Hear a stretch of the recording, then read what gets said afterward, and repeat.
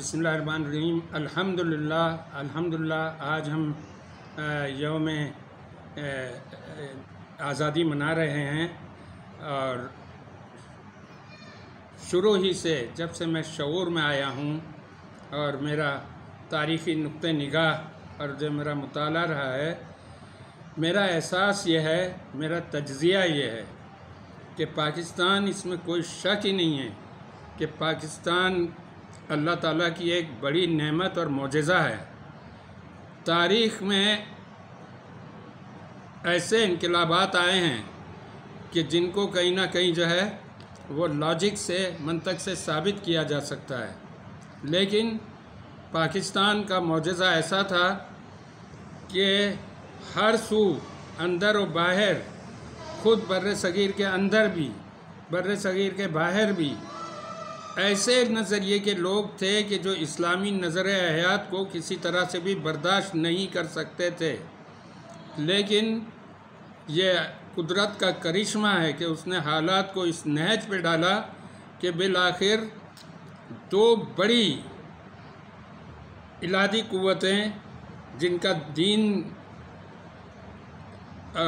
जिनका सेकुलरिज्म पर यकीन था उनके नुमाइंदों ने उस दस्तावेज़, दस्तावेज़ पर दस्तखत किए कि दो दस्तावेज़ पाकिस्तान बनने की दस्तावेज़ थी, पाकिस्तान के वजूद में आने की दस्तावेज़। यानी उन्होंने इस बात की तस्दीक की कि हाँ इस्लामी नज़रिया हयात की बुनियाद पर पाकिस्तान का मतलब क्या ला इला एक सल्तनत वजूद में आ सकती है और उस पर उन्होंने दस्तखत करके कानूनी मोहर जो है सब्त की उस पर। और ये वो दो बड़ी क़वतें थी, बरतानिया और इंडिया। और इन्होंने जब इस बात को तस्लीम किया तो कायद अज़म की बड़ी कामयाबी और हमारे रहनुमाओं की बड़ी कामयाबी यही समझी जाती थी कि ऐसे लोगों के हाथों में से पाकिस्तान को उन्होंने मनवा कर एक आज़ाद ममलिकत बनाया। इसमें कोई शक नहीं कि ये अल्लाह ताला का हम पर बहुत बड़ा एहसान था।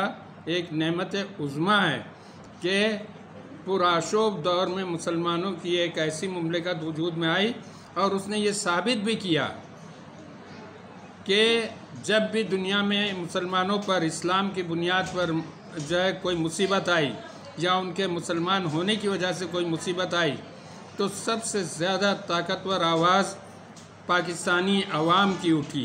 पाकिस्तान के दिल धड़कते थे उनके साथ, चाहे वो अलजायर का मामला हो, ट्यूनिस का मामला हो चाहे वो कश्मीर का मामला हो, फ़लस्तीन का मामला हो, इरिटेरिया का मामला हो, सब में आप देखिए कि पाकिस्तान बकिया दुनिया इस्लाम के मुकाबले में पेश पेश रहा है।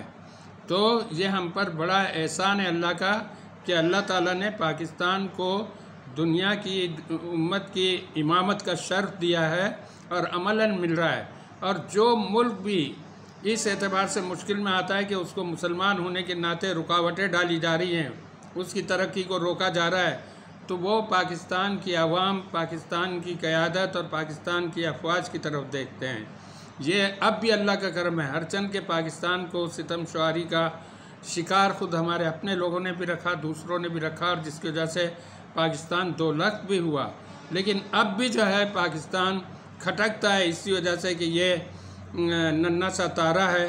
किसी वक्त जो है ये मह कामिल बनकर जो है दुनिया पर छा ना जाए तो इसके चारों तरफ़ जो है रुकावटें ही रुकावटें, चाहे वो नज़रियाती रुकावटें हों, जोग्राफियाई रुकावटें हों, माशी रुकावटें हों, माशरती रुकावटें हों तो अब इन सब का ख्याल करते हुए कि इसमें हमारा क्या रोल है?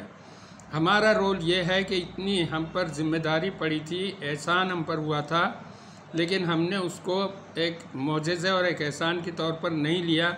और पाकिस्तान की आबियारी भी वैसी नहीं की, जैसे इदारों को अखलाक और नज़रियात की बुनियाद पर उसवार करना था, वो नहीं किया। हम अपनी इस गफलत पर, और जब हमने नहीं किया तो उनके मनफी असरात यह है कि कौम दिगरगू हो गई। कौम के तकाजे और कौम की उम्मीदें बदल गई। उनकी तरजीहत बदल गई। उनकी तरजीह पाकिस्तान पर निसार होने की बजाय अपने अपने छोटे छोटे फ़वाद पर हो गई। तासुबात का शिकार हो गए। लसानी तासुबात, इलाकई तासुबात, गिरोही, फ़िरके वाले तासुबात सब का शिकार हो गई। ये सारी चीज़ों को दूर करने में हमारी सिविल सोसाइटी, हमारे उल्मा, हमारे रहनुमा, हमारे तालीमी माहरीन, हमारे इंसाफ और अदालत के ज़िम्मेदारान, हम सब की ज़िम्मेदारी है। हम सब एक एक पाकिस्तानी जो है, इसके लिए जवाबदेह है। मेरी सिर्फ़ दुआ यह है और यही इल्तजा है और यही पैगाम है कि अल्लाह हर पाकिस्तानी को आज के दिन इस बात का एहसास दिला कि वो दिल की गहराइयों से नादिम हो कि उसने पाकिस्तान के साथ ज़्यादती की, अपना फ़र्ज़ नहीं अदा किया और अल्लाह ताला हमें अपने इस नदामत को इस कामिल दर्जे की बना कि आपकी बारगाह में कबूल हो और आप हमें हिदायत और नुसरत से नवाज़ कर जो है हमारी तोबा के ज़रिए कामयाबी की तरफ़ ले जा और पाकिस्तान की। आपने अगर हमारी नदामत को कबूल किया और हमने अगर दिल से नदामत की तो बकौल इकबाल के मोती समझ के शान करीम ने चुन लिए। कतरे जो थे मेरे अर के इनफाल के। तो अल्लाह को नदामत के कतरे बहुत पसंद है। हम लोग तोबा करें कि हमने वाकई पाकिस्तान के साथ ज़्यादती की। थोड़ा सा सोचें आज दूसरे मुसीबत में आ रहे हैं, कल आप भी आएँगे। आज बहुत से ताजिर सोच रहे हैं कि महँगाई का बहाव है, इसमें हम जब इस गंगा में नहा लें। लेकिन वो सोचे कि आज जो है वो नहाएँगे, लेकिन कल जो है उनको नहलाया जाएगा ऐसे तो हर एक को ये सोचना चाहिए कि हमारी ज़िम्मेदारी है, हम नदामत करें, हमने ज़्यादती की है, तोबा करें और पाकिस्तान के लिए सोचें कि हम पाकिस्तान की खिदमत इनफरादी तौर पर कैसे कर सकते हैं? इज्तमाही तौर पर जिन जिन इदारों में जहाँ जहाँ हम हैं, जिन जिन फैमिलियों में है, वहाँ हम पाकिस्तानियत को कैसे उभार सकते हैं? और पाकिस्तान और उसके नज़रिए पे कोई बात सुनने का का हौसला नहीं होना चाहिए कि कोई इस पाकिस्तान के नज़रिए के ख़िलाफ़ बात कर सके।